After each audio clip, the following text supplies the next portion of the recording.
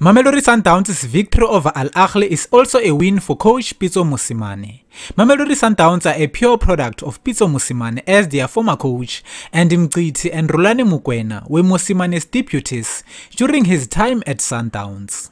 If Sundowns win, it's also a win for coach Pitso because he laid the foundation in the club. However, he still says that the team plays his football. So if Al Ahly lose and Sundowns win, he has won also because it shows that he didn't fail Mamelodi Sundowns. In fact, he made them who they are today.